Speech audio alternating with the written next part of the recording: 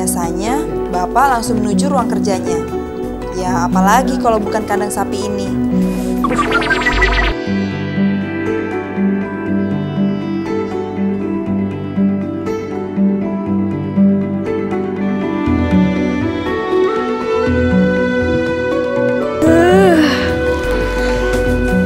Ke mana kita sekarang, Pak? Kandang. Kandang. Adalah hari pertamaku tinggal bersama Pak Oni. Sungguh, biarpun tiap hari minum susu, tapi baru kali ini aku berinteraksi langsung dengan sapi.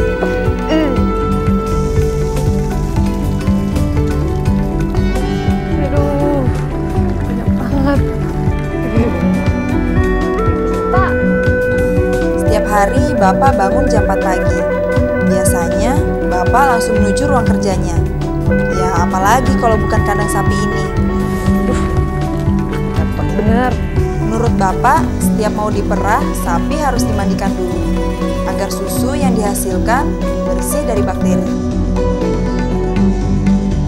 Apalagi kantung susu. Sebelum diperah harus dibasuh dengan air panas agar kuman-kumannya mati. Rasanya aneh. Empuk-empuk gitu.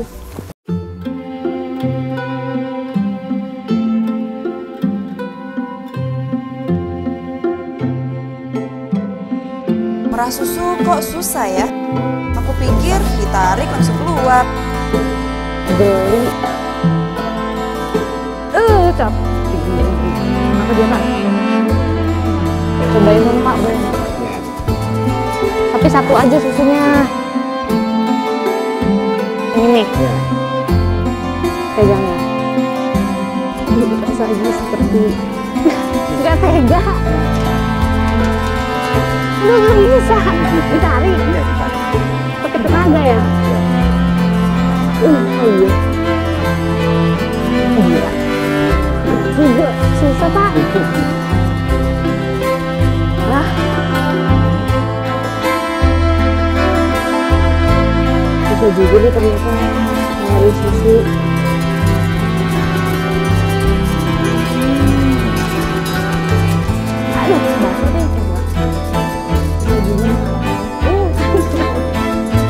Kalau dua gini boleh ya?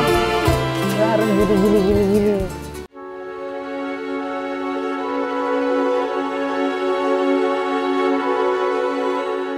Nah, gitu sekarang emang jam berapa pak? Jam setengah enam. Setengah enam biasanya susu diambil jam setengah lima. Setengah lima ya. ya. Ya, maaf ya pak, gara-gara saya jadi lama. Ini kalau misalnya ini segini biasa dijual bisa dapat berapa? 30 puluh. Iya. Berarti Bapak hilang tiga puluh ribu deh hari ini. Gak apa-apa. Bener Pak, saya gak enak. Dalam sehari, sapi-sapi Bapak diperah dua kali, pagi dan sore. Karena rumah Bapak jauh dari lokasi kuling milik koperasi, waktu menyerahkannya pun terbatas. Merah susu butuh disiplin ternyata. Kalau telat, ya seperti hari ini, susu nggak bisa dijual. Siangnya, aku bertekad membalas kesalahanku. Apa pun akan aku lakukan Buntut sapi selalu yang pertama disikat oleh bapak. Bukan karena laku jika dijadikan sop buntut, tapi sisa-sisa kotoran di buntut itu loh. Maklum, sapi sering mengkibaskan buntutnya.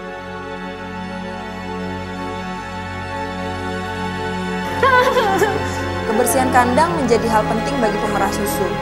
Kualitas susu harus dijaga. Kalau tidak, harga susu bisa jatuh. Bapak nggak suka buntut sapi. Tapi kok di sop suka.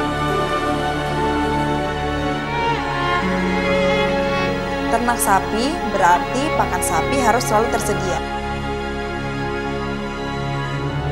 Sapi makan rumput bisa lebih dari 20 kilo. Saja, ibu juga harus ikut nyari rumput.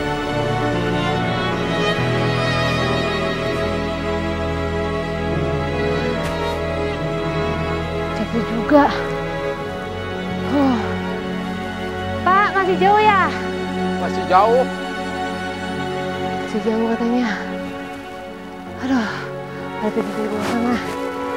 Gak kebayang Bapak harus ngelakuin setiap hari. Sini juga ya. Bapak. Pak, tunggu Pak. Setiap hari di hutan pinus milik perhutani ini Bapak nyari rumput. Tapi tempat Bapak jaraknya hampir 2 km dari rumah.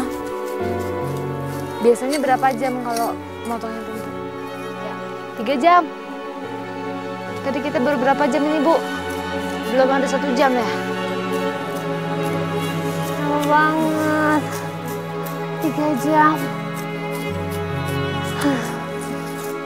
Caca, cucu pertama Bapak juga selalu ikut bantu Bapak. Di tangan Caca lah Bapak menaruh harap.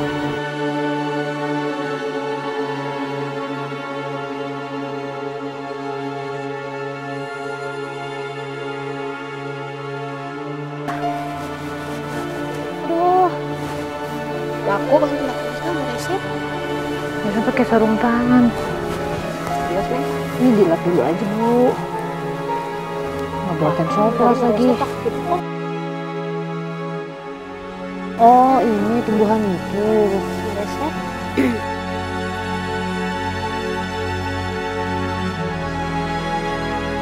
Rumput terkumpul.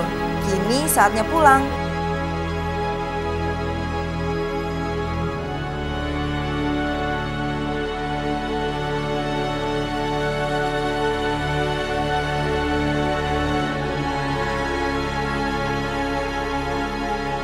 Bukit Pinus inilah saksi perjuangan Bapak serta Ibu menghidupi keluarga mereka.